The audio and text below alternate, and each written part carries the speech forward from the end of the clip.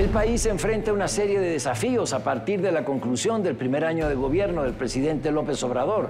Seguridad, crecimiento, reconstrucción del sistema de salud y reconstrucción de la confianza para invertir. Además, el fin de la polarización.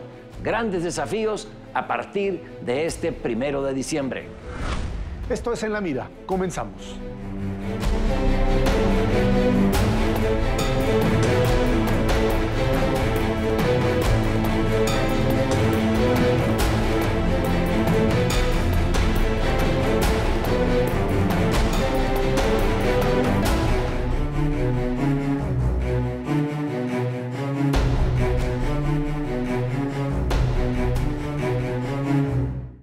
Año de gobierno de Andrés Manuel López Obrador, como todos los primeros años de los presidentes de la República, con luces y sombras, con aciertos y errores, con una sociedad eh, crecientemente polarizada sobre ciertos temas que giran particularmente en torno a la seguridad y a la economía.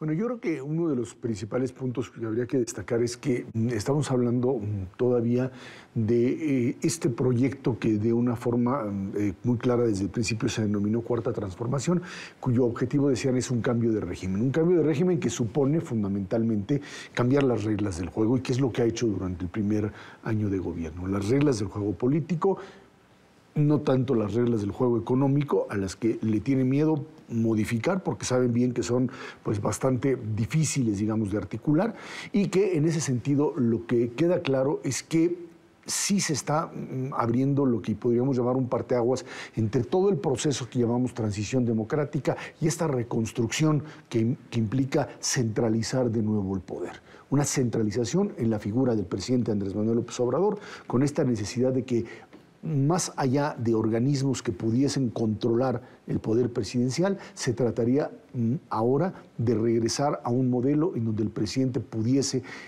echar a andar su propio proyecto de país sin la necesidad de que existiesen dentro de su proyecto y digamos lo que sería la forma de organizar elementos eh, intermedios o intermediarios, les llama él, que entorpeciesen el proyecto. Y creo que esta ha sido la tensión que se ha generado, polarizando a una sociedad que pues eh, difícilmente encuentra puntos de contacto entre una parte y otra. Y creo que ese es el dilema en adelante, Pablo. A mí me, llamó la atención, me gustó que eh, haya hecho dos reconocimientos importantes el presidente como grandes retos. Yo agregaría otros retos.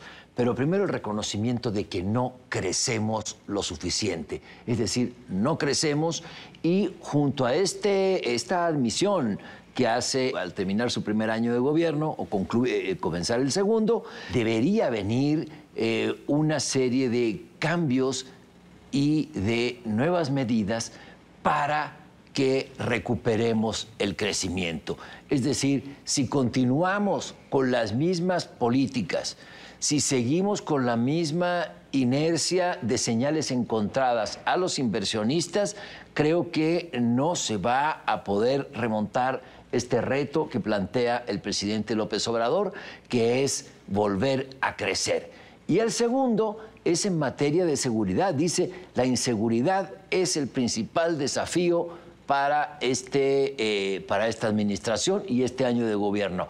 Creo que tiene razón. Es, una, eh, es un reto enorme porque precisamente el día en que él daba su informe, eh, daba este, este primer año de gobierno, pues transcurría el día más violento de este siglo en México, con 125 muertos, 127, 127 muertos, cuando la media son 70 muertos. Es decir, creo que es correcto que el presidente diga, tenemos un gran desafío, a lo que debe seguir una estrategia mucho más enraizada en la tierra. El problema que tenemos con eso es que efectivamente el presidente dijo, bueno, no hay el crecimiento suficiente, pero dijo, pero, pero, se distribuye mejor el dinero, entonces ahora el crecimiento es desde abajo.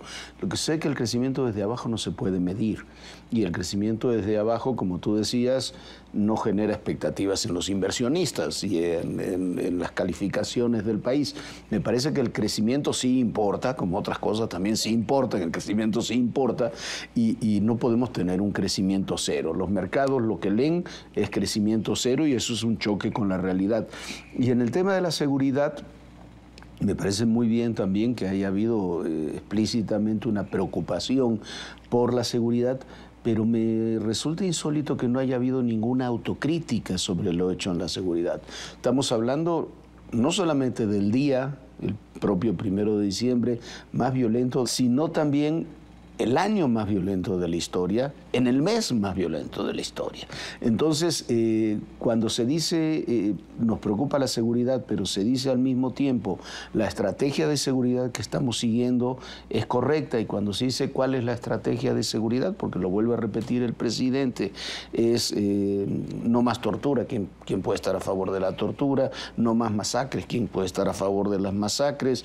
Rescatar los cuerpos de, de pasta de conchos, que nunca entendí por qué eso es parte de la estrategia de seguridad, me parece muy preocupante porque me parece si hay un problema de seguridad, hay que hacer cambios en seguridad.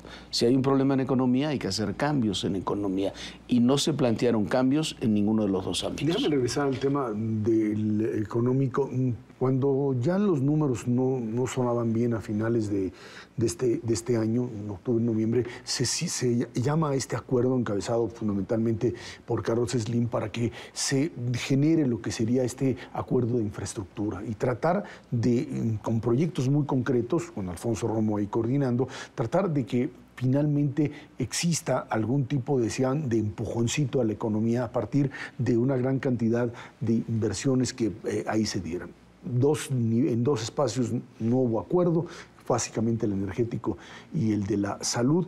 Y uno diría, bueno, pues eso puede ser, puede funcionar.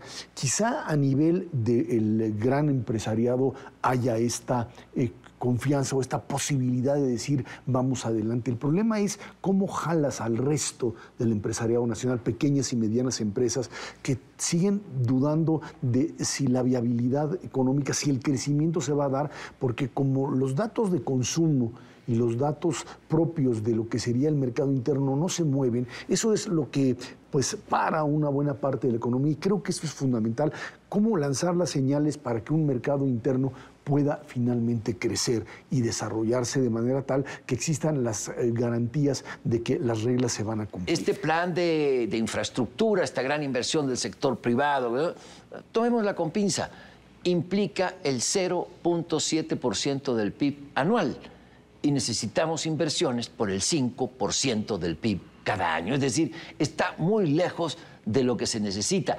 ¿Qué señales de confianza deben, eh, deben darse en este año? Bueno, que ya no ocurran este, impugnaciones a contratos ya firmados por el Estado mexicano y con obras prácticamente concluidas, como pasó con eh, los gasoductos. estaban terminados y resulta que nos vamos a un arbitraje y al final, bueno, ya se rectifica. Pero estas son pésimas señales. Y otra que habría que esperar para devolver la confianza a los inversionistas es abrir, retomar la reforma energética. No veo que por ahí haya mucho entusiasmo, pero si de veras se quiere recobrar la confianza y aumentar el crecimiento económico, hay que dar estas señales porque hasta ahora no han existido. Sí hay la admisión del presidente de que es necesaria dar, eh, dar un vuelco en materia de crecimiento. Bueno, ahí están puestos los elementos para dar este vuelco. Yo te diría nada más que creo que esto tendrá que suceder en el momento en que la realidad obliga a eso. Si se quiere eh, producir un millón novecientos mil barriles de petróleo al día, se quiere llegar a eso, con la inversión que hace el gobierno en Pemex, no, alcanzaría. Cuando uno ve cómo va creciendo la, explotación de petróleo, la, exploración y la explotación de los privados, ahí es donde creo que en un momento determinado se darán cuenta que esa parte de la reforma energética quedó atorada, puede ser un elemento que en un momento determinado puede funcionar. elemento pragmático. ojalá lo tomen en cuenta. Eso, eso lo fundamental es lo, lo, último que dices, es un elemento pragmático. Y ahí choca el pragmatismo con la ideología y se da en distintos ámbitos del manejo económico del país. Hay quienes dicen como, como una medida verde, si, de, si de alguna forma el presidente le dejó la política exterior a Marcelo Ebrard, que es su ámbito de especialidad, bueno, que se deje la política económica, quienes saben de política económica, para tratar de solucionar estos temas. Entonces, ese me parece que es un punto fundamental. Pero eso tiene que ir de la mano con, con una utilización presupuestal eh, del, eh, mucho más intensa y con otro tema que, que no es menor. Eh, la inversión pública. Tú decías de la inversión del paquete este, sí. que es, es, menos de un 1%, pero si vemos cómo se está combinando los tres principales proyectos del gobierno, a ver, eh, dos bocas, 100% de inversión de gobierno porque los privados han decidido no invertir.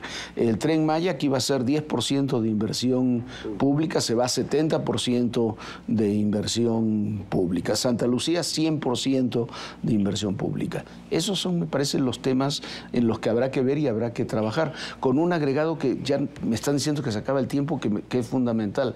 Cuando dice el presidente que cambió la constitución y que en los hechos hay una nueva constitución, me parece que para él, en términos políticos, eso es lo más importante. Sí tiene una nueva constitución con los 38 cambios que se le hicieron a la constitución. Y más los que vienen, llevar a la constitución los programas sociales del presidente, me parece que sí los hace irreversibles, como él lo planteó. Todavía quedan retos. El reto para la oposición.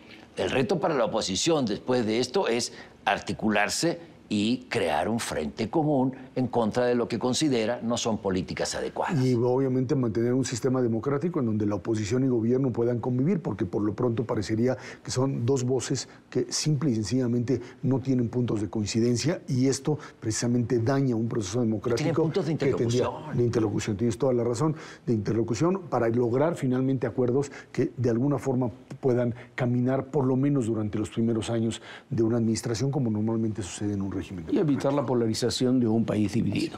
Bueno, esto ha sido todo por hoy. Gracias por acompañarnos en La Mira. Nos vemos el próximo martes.